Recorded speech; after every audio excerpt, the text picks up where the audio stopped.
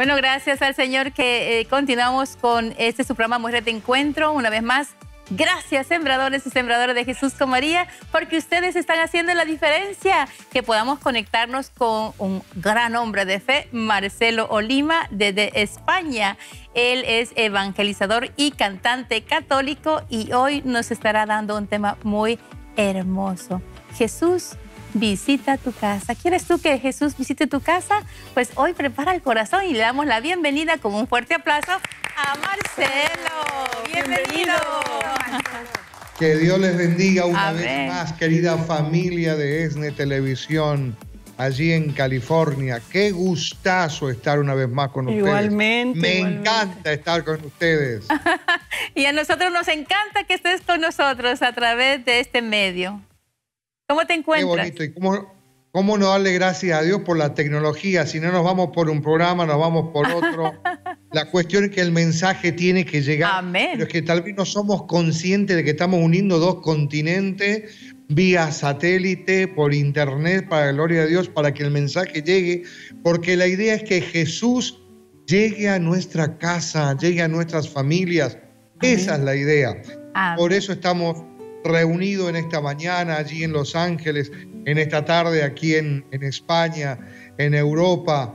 Y bueno, eh, me preguntabas cómo estaba. Espectacularmente muy bien, cansado, no damos más, pero bueno, a la gloria de Dios seguimos siempre firmes en la lucha para el Señor. La alegría de Jesús es nuestra fortaleza, así es que con esa fuerza que Dios te regala, vamos a escuchar este hermoso mensaje que nos traes en este día. Jesús visita tu casa. Adelante. Muy bien, gloria a Dios. Y esto es lo que le vamos a pedir en este momento al Señor, que venga a nuestra casa, a nuestra familia, y vamos a basar este mensaje desde la misma palabra de Dios, desde el Evangelio, ¿no? Marcos en el capítulo 5, a partir del versículo 22 en adelante. Es un, texto que seguramente lo hemos escuchado muchas veces, pero vamos a tratar de hacer como una lección divina, ¿no? Vamos a rumiar, vamos a masticar despacio qué es lo que el Señor nos quiere regalar en estas cinco horas de programa que tenemos. No, una broma, hermano, pocos minutos, pero bueno.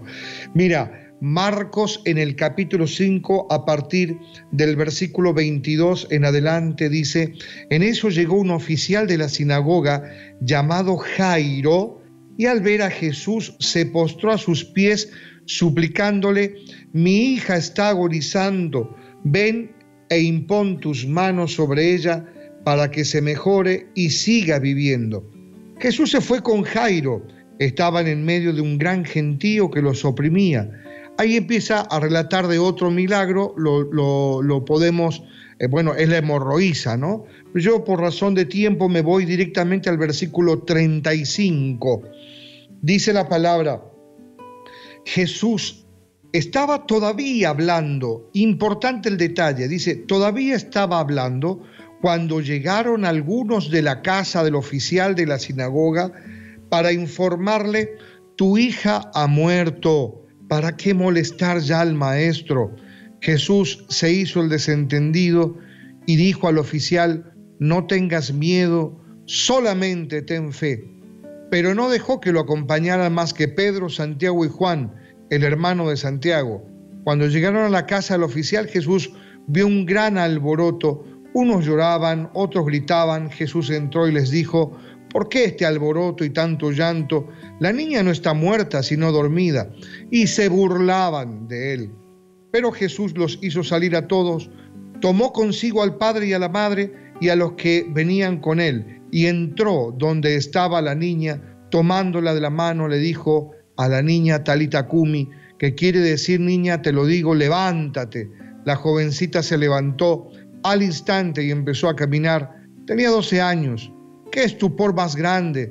Quedaron fuera de sí, pero Jesús les pidió intensamente que no lo contaran a nadie y les dijo que le dieran algo de comer a la niña. Palabra de Dios. Esto es un texto muy bonito que podemos sacar muchísimas ideas, indudablemente, eh, pero bueno, por razón de tiempo vamos a sacar un par de ellas.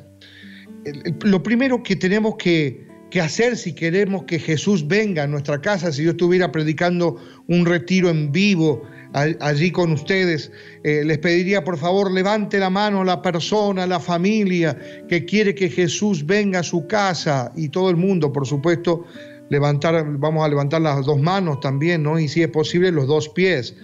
Eh, porque todos queremos que Jesús venga. Entonces lo primero que tenemos que hacer puede sonar un poco, hasta, perdón la expresión, un poco tonto, ¿no? un poco básico. Lo primero que tenemos que hacer es invitarlo. Es que Dios respeta a muerte tu libertad. Lo primero que tenemos que hacer es decirle, ven, Señor, a mi casa. Yo te dejo entrar a mi vida. Yo te dejo entrar a mi familia. Te pido, Señor, que vengas. ¿Por qué tantas parejas se rompen? ¿Por qué tantas familias se destruyen? ¿Por qué tantos matrimonios casados con el sacramento eh, de la iglesia eh, se terminan separando?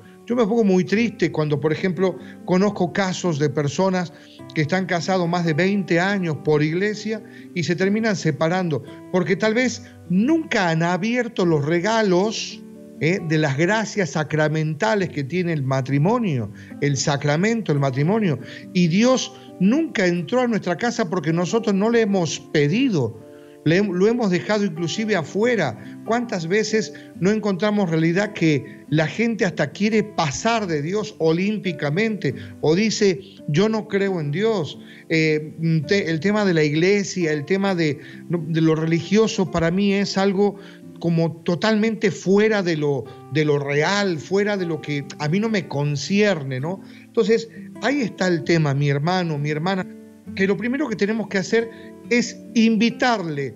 El Señor dice en Apocalipsis, en el capítulo 3, a partir del versículo 20, es un texto muy básico que todos lo conocemos. Mira que estoy a la puerta de tu corazón, llamo, si tú me dejas entrar, yo entraré a tu casa y cenaremos juntos. O sea, el Señor te golpea la puerta de tu casa, de tu vida, ¿vale? No esperemos, alguna vez aquí supe compartir un tema sobre el ten fe en el Señor Jesús y te salvarás tú y toda tu casa eh, y me he citado en el caso del carcelero, ¿no? cuando estaba Pablo y Silas y vino ese terremoto y abrieron, se abrieron las puertas de la cárcel y sacó la espada y iba a matarse. Eh, pero la historia termina bien porque él creyó en el Evangelio. Entonces, ¿por qué cito esto en este momento? Porque Dios respeta a muerte y no esperes un terremoto para abrirle las puertas de tu corazón a Dios. ¿Vale? No esperes algo trágico no esperes una enfermedad, no esperes algo que pase que te diga que, te haga despabilar que existe un Dios que te ama, que no es una teoría y que se interesa por ti y que está deseoso de entrar en tu casa, en tu vida. Entonces, punto número uno, por favor, si es posible, anótelo, si es posible en su corazón, que haya eh, esa seguridad en su vida, en su corazón. Punto número uno, invitar a Jesús invitar al Señor. Jairo, este jefe de la sinagoga, eh, no fue donde un curandero, tenía un problema, la hija se le estaba muriendo. Este, este hombre ante la desesperación no fue donde cualquiera, fue donde Jesús. Usted no sucumba ante el miedo, ¿eh? ante la depresión, eh, vamos a buscarlo al Señor, búscalo al Señor y todo lo demás vendrá por añadidura, pero búscalo, ten confianza, ten esperanza en Él. Punto uno, búscalo a Jesús, que Él se va a dejar encontrar porque está deseoso de encontrarse contigo. Y en el segundo punto, imagínate, vienen, está Jesús hablando, está predicando, en eso está con Jairo, y viene por un oído, Jairo le dicen, hombre, ya no molestes más al maestro, tu hija ha muerto. Y el Señor se da cuenta, escucha lo que le están diciendo, entonces se le acerca automáticamente al otro oído de, Jairo y le dice, en el mismo momento, Jairo, no tengas miedo, solamente ten fe. De aquí sacamos dos puntos más. Primero, o sea, de este, de este segundo punto, solamente no tengas miedo, ten fe. Entonces, hermano, segundo punto, no tengas miedo. Yo no te conozco, pero Dios sí te conoce, Dios sabe cómo estás. Tal vez ahora mismo estás pasando una situación dura, difícil en tu vida. Tal vez estás pasando, eh, te acaban de dar una, un, resultado en análisis que dice que eh, tienes cáncer o que tienes una enfermedad grave, eh, te han echado del trabajo, tu esposo o tu esposa te ha pedido el divorcio, o tu hijo o tu hija eh, anda en malos pasos y te acabas de enterar. No sé cuál será tu situación, lo desconozco, pero Dios sí sabe. Y frente a esto, mi hermano, mi hermana, vamos a decirle al Señor, no quiero tener miedo, no quiero temer, quiero confiar y esperar en ti solamente, Señor. O sea, lo primero que tenemos que hacer es echar fuera todo temor, porque aquí es donde el enemigo nos gana. Cuando empezamos a tener miedo, hacemos tontería. Cuando uno tiene miedo, hasta ve fantasma en todos lados. ¿Se acuerdan cuando la, eh, viene el, texto bíblico y dice que había una tormenta y venía Jesús caminando sobre las aguas? Lo primero que pensaron que era un fantasma, no pensaron que era Jesús. Es que cuando uno tiene miedo, cuando uno está en una crisis, se agarra, se aferra a cualquier cosa. Y la palabra de Dios nos dice, ustedes no recibieron un espíritu de esclavo, un espíritu de miedo, de temor, sino un espíritu de valentía propio de los hijos de Dios.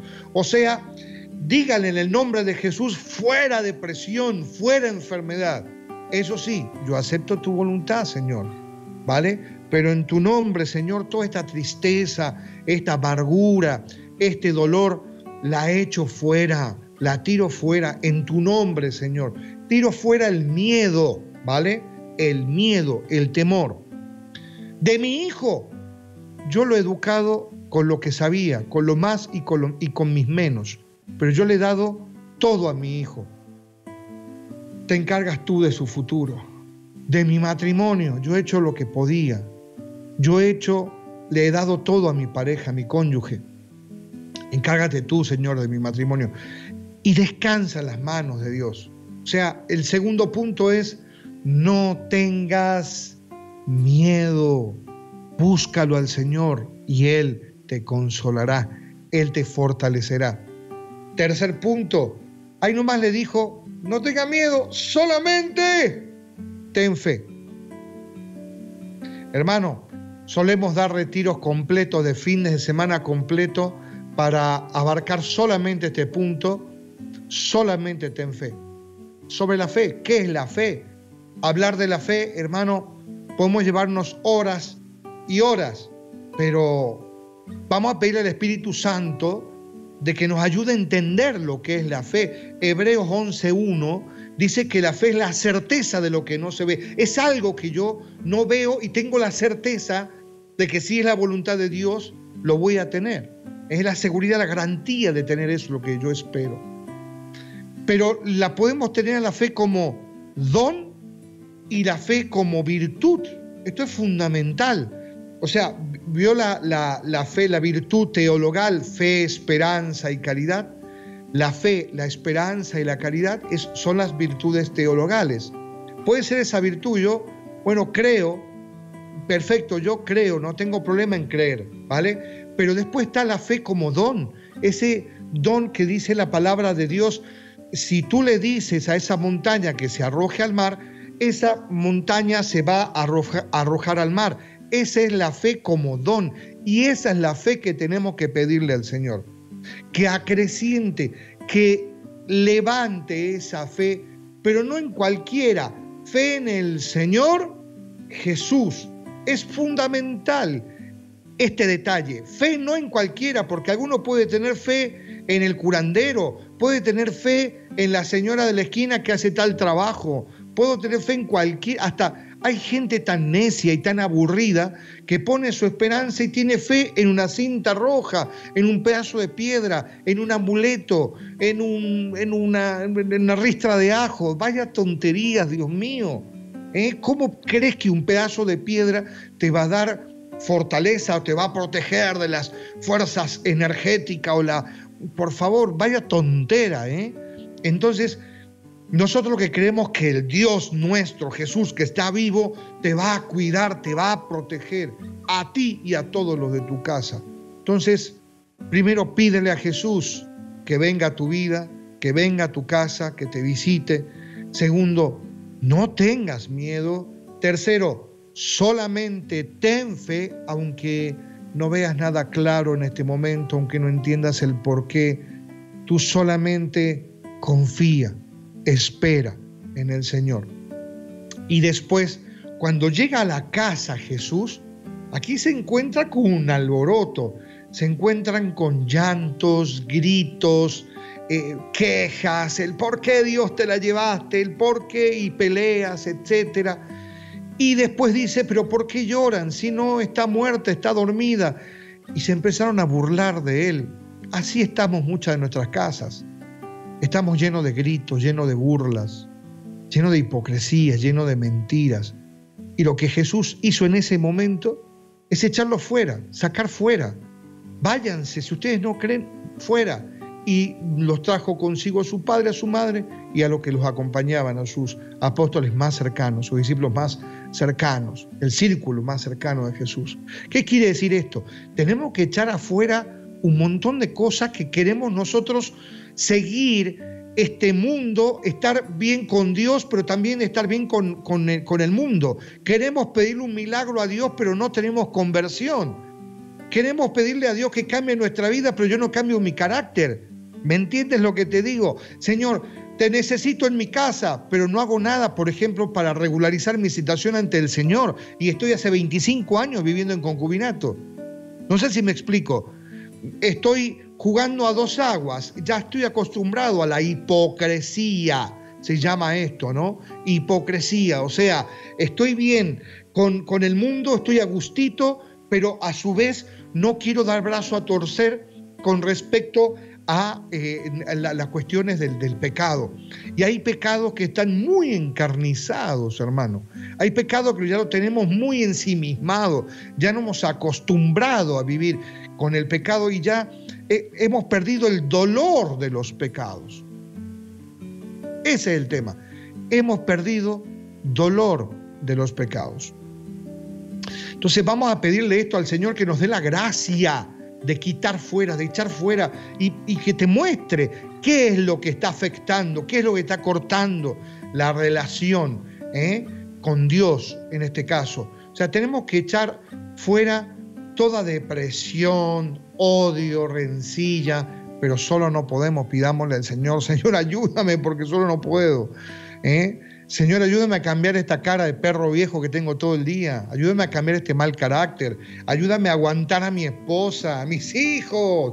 ¿Me entiendes? Partiendo por ahí, pero poniendo de mi parte, poniendo de lo que el Señor me pide, ¿no? El día a día. Luego, por otro lado, y con esto acabo, cuando ya el milagro sucedió, ¿eh? le dicen, le, dan un, dato claro a, a los padres. Dicen, denle de comer, porque la niña tiene hambre. ¿Qué significa esto? Sostener el milagro, alimentarnos espiritualmente. Y si esto lo vamos a llevar más a nuestras eh, vidas, lo vamos a aterrizar más a nuestras vidas, mi hermano, mi hermana, esto es, ve más a misa, aliméntate, más con la palabra de Dios, eh, el tema de los sacramentos. Hay gente que, hermanos, que se pasan años sin, sin confesarse, por ejemplo. O lo que más nos sostiene es el hecho de yo empezar a dar, de yo empezar a trabajar más para el Señor, porque dando es como se recibe.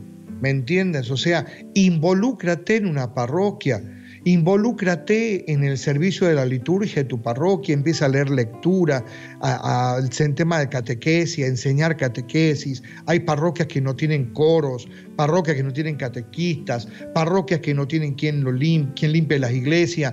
Vea un grupo, un movimiento, sea cual sea, un grupo de la renovación carismática, un grupo matrimonial, lo que sea, pero haz que ese milagro se sostenga, haz que ese, la, llama se sostenga. Tú cuando sacas una brasa de la llama, la brasa tarde o temprano se acaba, pero si esa brasa está dentro de la llama, te aseguro, mi hermano, te aseguro, mi hermana, que se llama Sigue viva. Pero ¿cuál es el secreto? Que tú estés metido en la comunidad, estés metido en el grupo, estés metido en la parroquia, en la vida parroquial. Entonces, esto es lo que le vamos a pedir al Señor y le vamos a dar gracias por esto justamente, porque le vamos a invitar al Señor a que venga, porque el Señor nos pide que no tengamos miedo y que aumente nuestra fe y también echar fuera todos los demonios, todos los temores, todas las cosas, los pecados que tenemos y nos afectan y nos apartan de Él y terminamos diciendo esto de alimentar el milagro, de sostener el milagro. Y vamos a pedirle esto al Señor, que Él nos ayude, que Él nos bendiga, que Él nos dé la capacidad de, de poder siempre estar con Él y descansar en Él. Y decirle al Señor que le amamos, le queremos, que somos suyos. Esta canción dice esto justamente. Ven y descansa en el Señor. Ven y descánsate, ven y descánsate en Dios en Dios. Ven y descánsate, ven y descánsate en Dios, en Dios. Y deja que Dios sea Dios, deja que Dios sea Dios. Tú solo adórale, tú solo adórale. Mi hermano, mi hermana que me estás viendo a esta hora, vamos a decirle al Señor, y descánsate, ven y descánsate en Dios, en Dios, en Dios. Ven y descánsate, ven y descánsate en Dios, en Dios, y deja que Dios sea Dios, deja que Dios sea Dios, tú sos adórale. Tú solo adórale. Señor, te queremos pedir en este momento que vengas a nuestra casa, ven a nuestra familia. Tú conoces cómo está nuestra casa, nuestro corazón, Señor. A ti no, no te podemos mentir, Señor, y te invitamos a que como estemos, tú vengas y nos ayudes a poner orden, a sanar tantas heridas tal vez, a echar fuera tantas cosas que tenemos que echar fuera, Señor. Tú sabes tantas cosas que tenemos que mejorar. Tú sabes tantas cosas que tenemos que cambiar, pero solo no podemos. Por eso en este momento queremos suplicarte, ven y ayúdanos, ayúdanos. Tú que eres el orden, tú que eres la paz, tú que eres la fuerza, ven a poner paz, ven a poner orden, Ven a poner fuerza y calma a tantas familias que están tal vez tristes, desmembradas, heridas. Ven a nuestras casas, ven a nuestras familias. Nosotros, Señor, te damos gracias. Gracias porque tú estás obrando maravillas, tú estás haciendo maravillas en nuestra casa, en nuestra familia. Gracias, Señor, gloria. Bendito y alabado seas por siempre porque eres bueno y por eso te decimos, te adoramos a ti, te adoramos a ti, te bendecimos a ti, te honramos, te damos gracias. Jesús. Gloria al Padre, al Hijo y al Espíritu Santo, como era en el principio, ahora y siempre, por los siglos de los siglos. Amén. Amén. Damos gracias a nuestro buen Dios y a Marcelo por este gran regalo. La verdad que impacta en nuestro corazón siempre cuando el mensaje de la palabra de Dios llega a nuestras vidas y precisamente con estos puntos tan importantes. No tener miedo, tener fe, invitar a Jesús a nuestros hogares, a nuestras casas, a nuestros corazones, porque sin Él no somos nada, Rocío. Nada, nada realmente. Al presentar el mensaje de salvación, Marcelo nos hace conscientes de los tres puntos, pero el principal, la invitación, la invitación a Jesús a nuestros hogares, a nuestra vida. Y cómo no agradecer este mensaje tan maravilloso, Marcelo, que has compartido con nosotros, que nos ha animado y que nos ha concientizado a la invitación, que no se nos pierda ese, esa, esa cosa tan importante de invitar a Jesús a nuestra casa, a nuestros problemas, a nuestra familia. Y así de esa manera poder celebrar como esta familia, de que la niña no está, no está muerta, sino está dormida, porque a través de la fe hay milagros. Gracias. Tal cual, tal cual. Insisto en esta idea que es fundamental y parece tan ridículo y tan básica, pero que es así. O sea, lo primero que tenemos que hacer es invitarlo, Señor, ven, y ya el Señor actuará. Ahí está el tema, ¿no? Ahí, ahí está el secreto. Así como lo hizo Jairo, pues hoy también todas las familias que están en esta sintonía están invitadas también a invitar a Jesús a sus hogares. ¿Para qué?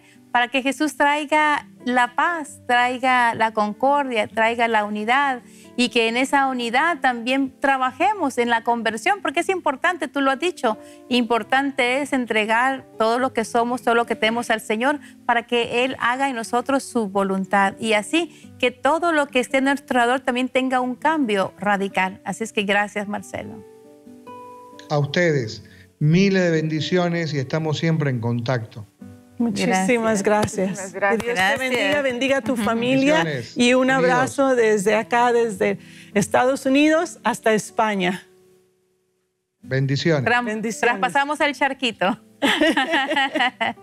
Hasta la próxima, Marcelo. Gracias. Muchísimas gracias, Marcelo, por su valioso tiempo y qué tan importante es, como lo mencionaba él, cambiar el miedo por la fe. Abandonarnos totalmente y poner la confianza en nuestro Señor. Sabemos que para Él nada es imposible, entonces no hay que preocuparnos. Mejor hay que orar con mucha fe, presentarle al Señor nuestras necesidades, confiar que Él tiene todo bajo control, porque Él nos conoce, nos ha creado desde antes de estar en el vientre de nuestra madre ya nos conocía. Entonces Él sabe cuál es el plan para nuestra vida. Como lo decía, hay que invitarle, hay que abrirle nuestro corazón, las puertitas de nuestro corazón, para que el Señor entre y reine en nuestra Así es, qué hermoso es poder tener esa apertura en el Señor. Y a mí, y con lo que me quedo, yo siempre digo, eh, yo no me preocupo, yo mejor me ocupo, me ocupo en ver qué más puedo hacer yo ¿verdad? para el bienestar de las almas y para la gloria de Dios. Así que vamos a unos mensajes, continuamos en Mujeres de Encuentro, no se nos vayan.